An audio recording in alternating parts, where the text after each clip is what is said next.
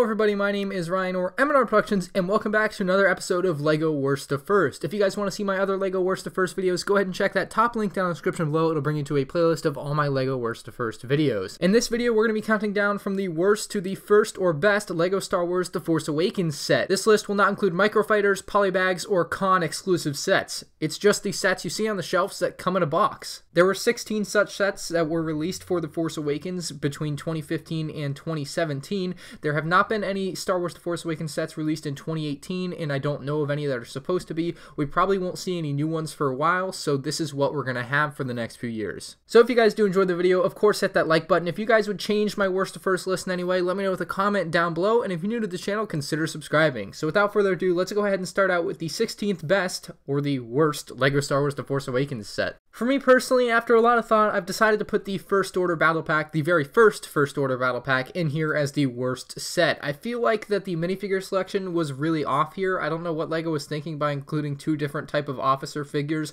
and only one regular First Order Stormtrooper along with one kind of artillery trooper, and that kind of made me really upset because I was really excited to build my army when this set came out, and I, I was really let down when I only got one regular First Order Stormtrooper. You also get this what was a pretty cool turret to me, but it's kind of grown on me in a negative way. I don't really love the design of it all that much anymore, and it's just kind of looking dated to me. At 15, I've chosen the battle on Takodana, and here LEGO uses the word battle very loosely because there isn't much of a battle going on. It's Kylo Ren and a couple of stormtroopers fighting against Finn. I mean, I, I just don't see any battle going on here. You know what I mean? It's a pretty nice design overall for the playset. Like, it, I, obviously, it's not supposed to be the castle. It's not supposed to be Maz Kanata's castle, but it's supposed to be a battle scene. And for a battle scene, there's only one minifigure for one side, and he only has a lightsaber. It's not like Maz Kanata has a gun or anything to keep fighting back. So, like, you're really limited with what you can do here. Of course, you can blow up some of the scenery and such, but again, it's not much of a battle unless you've got a bunch of other sets which cost a lot of money too. I thought they did a great job with the Maz minifigure. I loved that you got Kylo Ren and a couple of First Order Stormtroopers. Of course, Finn was pretty good too. However, that was not enough to pull it out of the bottom of the barrel here. Next up, somehow ahead of the previous set, we have the Jakku Quad Jumper. I actually recently purchased this set, and I was actually pleasantly surprised by what I got. You get Rey, Finn, BB-8, Unkar Stug, and a First Order Stormtrooper, so pretty solid minifigure selection. I think they did a wonderful job implementing the ability to make the ship blow up like it does in the movie just before they get to the Millennium Falcon. I think it works wonderfully, and you have a lot of room for minifigures in this set, actually. I think you can fit up to three in the interior, even though you only really get the Unkar Stug and First Order Stormtrooper for the interior. You do have an extra seat in there so you can fit other stuff in there as well, which is really awesome. Next up, I've chosen the Resistance Trooper Battle Pack. This one went side by side with the First Order Battle Pack that we just saw at number 16, and I think this is actually a pretty solid battle pack. However, I feel like all the sets that are ahead of it are better still. I think the Resistance Troopers are pretty cool. They have really nice helmet designs. They have pretty good torso prints. The speeder itself is actually a really nice design. It has a really nice turret design as well. Unfortunately, you can't fit all the troopers into the speeder like you could with the Rebel speeder back in 2008. However, it does work well for the two figures you can fit in it. So one problem I seem to have with the worst of first videos is I'll get a few sets in and I'll get to a set where I'm like, well, this set isn't that bad, but I'm like, but all the other sets are better. So it's like you got to put a set like this this low on the list, unfortunately. At number 12, I've chosen the Rathtar Escape, and this one was one I was originally very excited to get, and then kind of sorely disappointed once I actually had it. It's a great playset, don't get me wrong, I'm sure some people get some great playability out of it, but in my opinion, it just doesn't work that well. You can't really pick it up to take it anywhere because all the sections are compartmentalized, so if you pick it up from one end, the other end will just like completely snap off and fall to the ground, and this has been a big problem for me. I just, I can't get behind this set. The Guavian Death Gang members, though, are excellent minifigures. I think the minifigure selection in is great. The Rathtars are a pretty good design, made of bricks. I think uh, LEGO did the best they could with that. Of course, you get the older Han Solo and Chewbacca minifigure, along with Bala-Tik, so pretty solid minifigure selection, but again, I just didn't like the overall design of the set. I don't know what else they could have done for the Rathtar Escape as a set. Like, this is probably the best they could do. I probably couldn't do any better. At number 11, I've chosen Rey's Speeder. This was a really solid speeder design. I think it really well resembles the version that we see in the Force Awakens movie. Of course, you get Rey and Unkar Stug, so pretty okay minifigure selection. I think you could have done without Unkar Stug at all. Maybe it just included BB-8 instead, or no second minifigure, just the one minifigure. I don't know. I'm just throwing ideas out there. But anyway, the uh, speeder itself has a bunch of stickers on it, which actually add a lot of good little details. I really like all the things you can hang on to the side of it as well. You can see like a buzz saw. You can see Rey's staff, a little gun type thing on there. You You can also open up both the compartments in there to access the interior space, which is great. You have a couple of stud shooters. You have a great area for Rey to be seated. You also get a little box that fits inside the center of Rey Speeder as well. I also do want to note the engine area on this set is very well done and well designed. So overall, a really nice set in here at number 11. Cracking the top 10 Star Wars The Force Awakens sets, we have the Encounter on Jakku, and this is a set that a lot of people do feel is overpriced, and I kind of agree. However, after looking at it for a little while, I was able to convince myself that the design of it is actually really darn good. I really like the Luggabeast is included. I think that is brilliantly designed. It has Teedo on top of it. Of course, you also get Rey BB-8 and the disgusting looking Unkar Plutt. He is a great minifig. I think that the actual like Jakku building there is really well done. You actually get a lot of little features in there. You have the little entrance to Jakku, which is a lot smaller than it would be in the actual movie. Obviously, you could fit like ships and stuff through it. Obviously, not here in the Lego version, you can't do that, but it is included, which is nice. You also get this very nice like plastic panel that goes from the top of the thing and kind of curves down. Very nice inclusion by Lego. You also have the window where Unkar tries to buy BB-8 from Rey, so you can reenact a lot of good scenes from the movie with this set, and that's what I think I really like about it is the ability to reenact scenes from the movie. It's included a lot of good little nods to the scene from the movie in such a small package that I was actually able to convince myself that I like this a lot. Next up, we have the First Order Snowspeeder, and despite not seeing any screen time in The Force Awakens, I actually thought the set was very well designed and very well priced, and it had great minifigures, and it gave you some pretty darn good features. So, of course, you get a couple of First Order Snowtroopers and then a First Order Snowtrooper officer, which is the same as the others, except he has a red pauldron. It has these wonderful stud shooters on the sides, which allow you to spin it and shoot off the green studs like bang, bang, bang. It's really awesome. It's got some nice sticker details on the side as well for paneling. You can see the chair design in the back is wonderful with those grill pieces.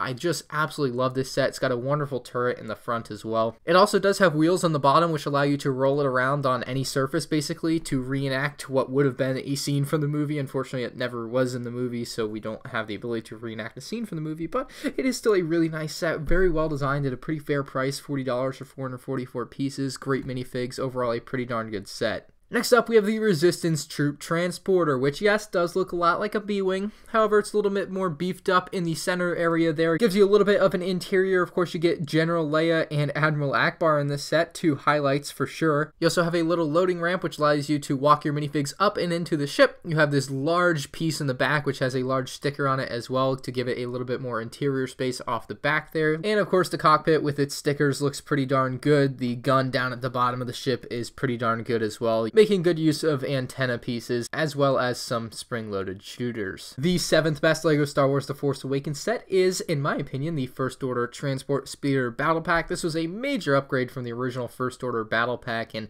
of course getting two First Order Stormtroopers was great, but the surprise inclusion here was that First Order Flame Trooper. Wonderful to get him in a Battle Pack. Of course, you also get this blue First Order Officer, which is a little bit different than the other ones, so I was actually pretty happy with that. The speeder itself is a great design. You have a pretty nice area for your troops to sit in. You also have the ability to grab those shields and staffs for the First Order Stormtroopers and basically make them into TR-8R, which is great. And next up, I've chosen the First Order Transporter, 792 pieces, $90 in the US, so pretty fair price. The highlight of this set for me was getting a bunch of First Order minifigures, two First Order Stormtroopers, two First Order Flame Troopers, and Captain Phasma. Unfortunately, Captain Phasma never came in chrome, or hasn't yet, unfortunately, so she's got this like dull gray look to her. The two Resistance minifigures you get are just a couple of Resistance soldiers, male and female. The overall design of the First Order Transporter was actually pretty good, however, it's a little bit inaccurate to the movie in that it's a little bit uh, shorter than it should be. It should be a little bit more elongated, and I've seen people make custom versions of it that are elongated and it looks amazing.